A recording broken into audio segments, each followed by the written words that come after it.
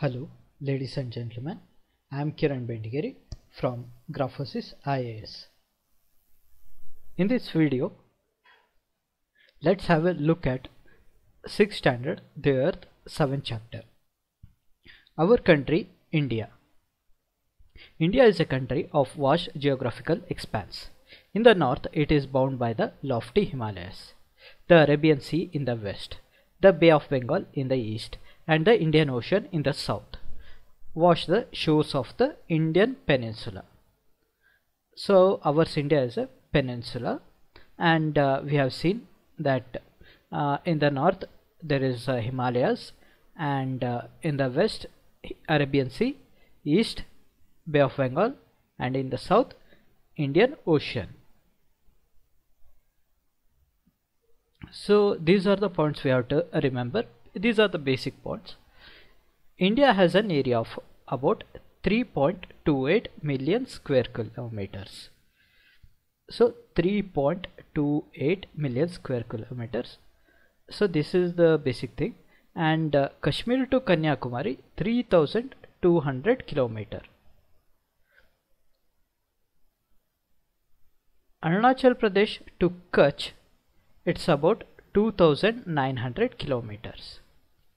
The lofty mountains, the great Indian desert in the Rajasthan, the northern plains, um, Ganga and uh, Brahmaputra plains, the uneven plateau surface and uh, uneven pl uh, plateau that is uh, uh, Deccan plateau and all uh, and the coasts and islands present a diversity of landforms. Coast in the sense near the western ghats or near the eastern ghats and islands that is Lakshadweep and uh, Andaman and Nicobar. Uh, these are all present a diversity of landforms right? There is a great variety in the climate vegetation wildlife as well as in the language and culture. In this diversity we find unity that is reflected in traditions that bind us as one nation India has a population of more than 120 crores since the year 2011. It is the second most populous country of the world after China. So there are many important points and basic points which we have to remember 328, 3200, 3, uh, 2900. So we can somehow relate these numbers and we can uh, remember. And the length is always bigger. So uh, I mean uh, like that we can remember the length is bigger. Uh, as we look on uh, look at the map we can easily see that the length of the India map is uh, bigger. So that is 3200 and 300 kilometers yeah, lesser. So this is the width is um, 300 kilometers lesser than the length. So that is uh, 2900 kilometer. And uh, 3200 this is uh, 3.28 so please uh, remember. And uh, this is the India map. And uh, what we just saw Arabian Sea Bay of Bengal Lakshadweep and Maldives. Below Lakshadweep there is Maldives and Sri Lanka. So straits. I hope you remember. Uh, strait uh, a narrow water body which connects to major water bodies that is strait. So which strait is here? That uh, we are going to discuss later. So our India is uh, uh, surrounded by several countries um, which has uh, borders with several countries like Pakistan, Afghanistan, uh, China, and actually this is Tibet. Uh, it is occupied by China, and uh, Nepal, Bhutan, Bangladesh, Myanmar. Right. So uh, please uh, remember this in this in order, and yeah uh, these these stuffs and all. And this is the scale.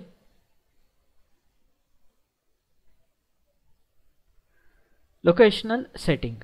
India is located in the northern hemisphere. The Tropic of Cancer that we have discussed. 23 degree 30 minutes north. Passes almost halfway through the country. From south to north. Mainland of India extends between 8 degree 4 minutes north and 37 degrees 6 minutes north latitude.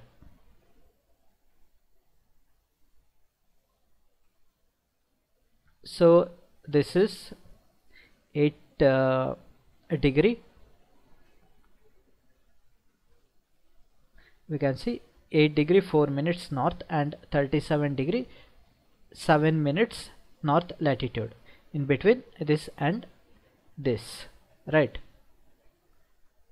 Uh, from west to east India extends from 68 degree 7 minutes and 97 degree 25 minutes east longitudes. So this uh, we have to remember. So this is uh, approximately the difference between these two are uh, 30 degree and also these two are approximately 30 degree. So we can remember like this um, latitudes 8 degree plus, uh, 30 degree uh, we get approximately this number and 68 degree plus, uh, 30 degree we get approximately this number right due to great longitudinal extent of about 29 degree there could be wide differences in local time of places located at two extreme points of India. So there is uh, wide differences in local time. As such, the difference between these two points would be of about 2 hours. Uh, so we have seen if there is a 15 degree difference that would be um, the difference difference of 1 hour. So the difference between these two latitudes are 30 degree. So uh, the difference is 2 hours. As you have learnt earlier the local time changes by 4 minutes for every 1 degree of longitude the sun rises about 2 hours earlier in the east than in the west so he has said the same thing um, uh, you have already read earlier why the local time of longitude of 82 degree 30 minutes east has been taken as the standard uh, Indian standard time. This meridian or longitude is also termed as the standard meridian of India. So if you have traveled from east to west or west to east uh, like if you are, if you are from Bombay or from Bangalore and if you have been to Assam or uh, anywhere to the eastern part then you might have noticed that sunrise and sunset there is uh, huge differences from the places you are the peninsula is a uh, piece of land that is surrounded by water on three sides large countries which stretch extensively from east to west do not have a single standard time for the whole country. The USA and Canada have 7 and 6 time zones respectively. We have only one time zone but USA and Canada have 7 and 6 time zones respectively. India's neighbors China, Bhutan, Bangladesh, Myanmar. Sri Lanka is separated from India by the Palk Strait. We have seen the difference of, uh, I mean definition for strait and uh, the name of this strait which is between Sri Lanka and India is Palk Strait. So please remember this Palk Strait. Political and administrative divisions. India is a vast country. For administrative purposes, the country is divided into 29 states and 7 union territories. Delhi is the national capital. The states have been formed mainly on the basis of languages. Rajasthan is the largest state and Goa is the smallest state in terms of area. the states are further divided into districts so we can see uh, almost all the states. I am saying almost because Telangana has been carved out from Andhra Pradesh uh, which is not uh, shown here. So let's study the map.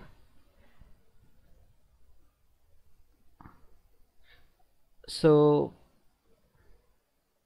this is the 64 to uh, 96 what here it is mentioned.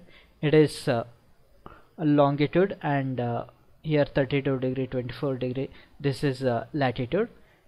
Okay. So the first comes at the top Jammu and Kashmir. Below that Himachal Pradesh is there. Uh, right to it Uttarakhand. And below it Uttar Pradesh and below the Himachal Pradesh there is Punjab and Haryana. We have to remember the adjacent states of uh, each state. How many states are adjacent to each states and uh, uh, their capitals also.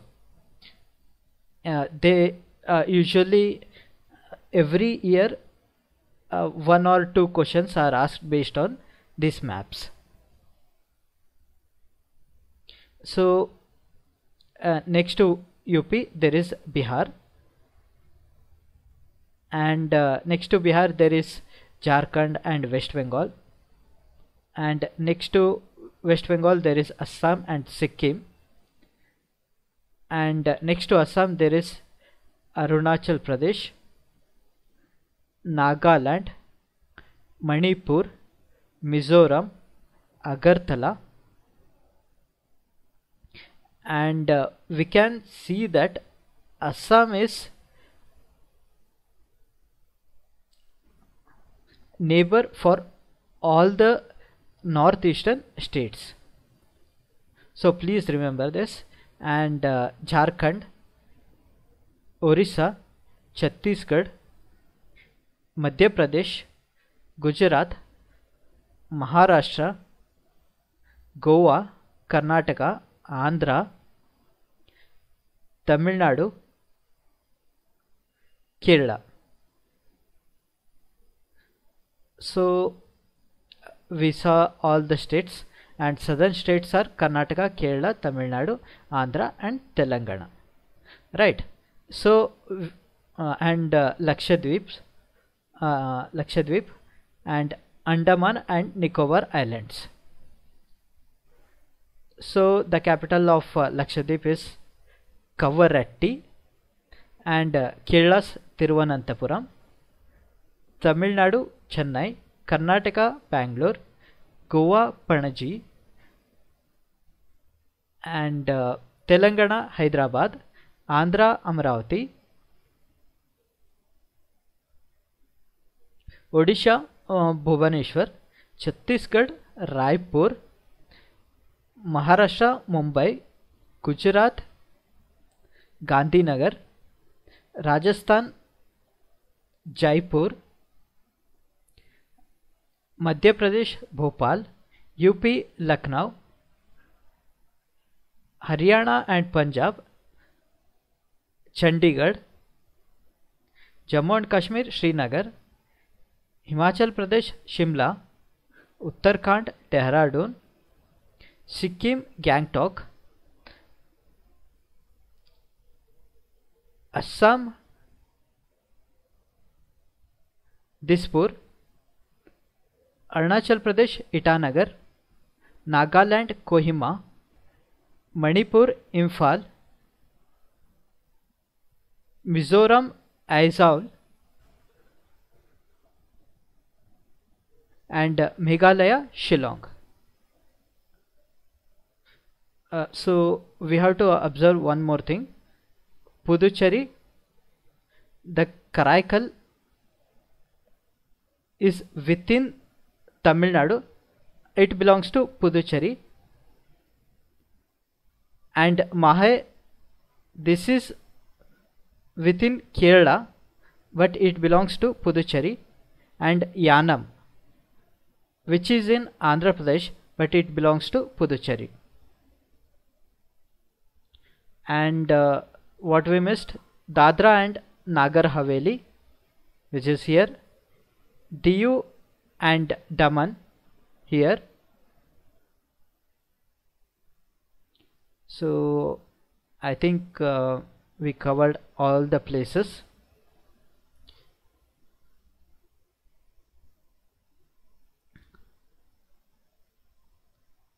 Next, physical divisions. India is marked by a diversity of physical features such as mountains, plateaus, plains, coasts and islands. Standing as sentinels in the north are, are the lofty snow-capped Himalayas. Him plus Alaya means the abode of snow. The Himalayan mountains are divided into three main parallel ranges. The north northernmost is the Great Himalaya or Himadri. Northernmost. The world's highest peaks are located in this range. Middle Himalaya or Himachal lies to the south of the Himadri. Many popular hill stations are situated here. Now find out the names of five hill stations. The Shivalik is the southernmost range. Shivalik at the southernmost range. Right. The northern Indian plains lie to the south of the Himalayas. They are generally level and flat. These are formed by the alluvial deposits laid down by the rivers, the Indus, the Ganga, the Brahmaputra and their tributaries. These river plains provide fertile land for cultivation. That is the reason for high concentration of population in these plains. In the western part of India lies the Great Indian Desert. It is a dry, hot and sandy stretch of land. It has very little vegetation. So, uh, Indian desert, very little vegetation. It is in the western part. To the south of northern plains lies the peninsular plateau so southern part uh, which is uh, in V shape uh, lies in the peninsular plateau. It is triangular in shape. The relief is highly uneven. This is a region with numerous hill ranges and valleys Aravali valleys. So we have seen uh, in the map one of the oldest ranges of the world. Border it on the northwest side. The Vindhyas and the Satpuras are the important ranges. So we have to remember Aravali, Vindhyas and Satpura near Narmada and Tapti. The rivers Narmada and Tapti flow this uh, flow through these ranges.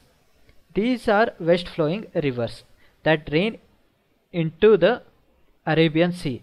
In India there are uh, many rivers uh, which flows uh, to the eastern side and drain into the Bay of Bengal. But there are few rivers like Narmada and uh, Tapi uh, and also Indus River which drain in uh, into the Arabian Sea. The Western Ghats or Sahyadris border the plateau in the west and eastern Ghats provide the eastern boundary. While the western Ghats are almost continuous, the eastern Ghats are broken and uneven. The plateau is rich in minerals like coal and iron ore.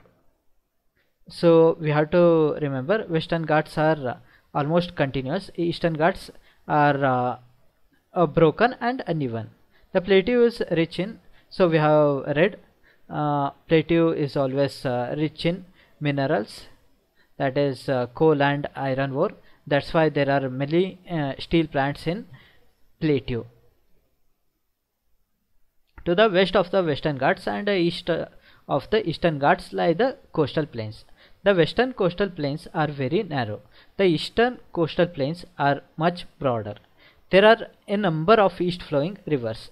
The rivers mahanadi godavari krishna Kaveri drain into the Bay of Bengal. These are the main rivers. Mahanadi, Orissa, Godavari, Krishna, um, Andhra, uh, Kaveri, uh, which takes birth in Karnataka and uh, drain into the Bay of Bengal uh, near Tamil Nadu.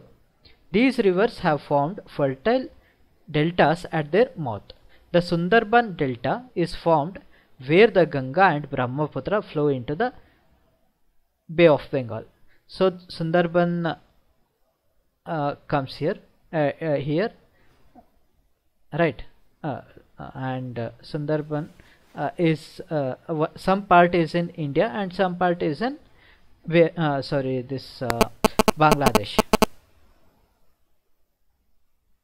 Alluvial deposits. These are very fine soils brought by rivers and deposited in the river basins. So this has to be remembered. What is alluvial deposits? Fine soils by, brought by rivers and deposited in the river basins. Tributary. A river or stream which contributes its water to a main river by discharging it into main river from either side so there are many tributaries to for uh, Ganga, Brahmaputra, Indus, Kaveri, uh, and Krishna, and all. So, what are those uh, tributaries? Uh, please uh, think about it. The Ganga and the Brahmaputra form the world's largest delta, the Sundarbans delta. The delta is a, is triangular in shape. It is an area of land formed at the mouth of the river. Where rivers enter the sea, that point is called the mouth of the river. Uh, these are the things uh, which we are going to study in depth in the future videos also. So these are the basic things. Uh, and also one more point I want to add, I wish to add, uh, Sundarbans. Sundarbans is uh, very famous for tigers, tides and crocodiles it's also a very beautiful place adventurous place too uh, right. Many girls are uh, named after rivers. Example yamuna mandakini kaveri we might have heard many times these names. Coral islands. Corals are skeletons of tiny marine animals called polyps. When the living polyps die, their skeletons are left. Other polyps grow on top of the hard skeleton which grows higher and higher, thus forming the coral islands. So this is the basic things, a basic thing how corals are formed. So uh, right now we have to remember coral and polyps. This is from tiny marine animals called polyps. Just remember these two words CP, right? And uh, again, we are going to uh, study about uh, corals in depth in the upcoming videos. Two group of islands also form part of India. Lakshadweep Islands are located in the Arabian Sea. These are coral islands located off the coast of Kerala. The Andaman and the Nicobar Islands lie to the southeast southeast of the Indian mainland in the Bay of Bengal. So Lakshadweep we saw and uh, and also Andaman and Nicobar Islands. It is uh, at the southeast. And one more point, tsunami is a huge sea wave generated due to an earthquake on the seafloor. Earthquake can happen due to many reasons and uh, the earthquake within the sea generates huge wave. That huge wave uh, cause many disasters. Uh, that is called uh, tsunami so this is the end of the chapter thank you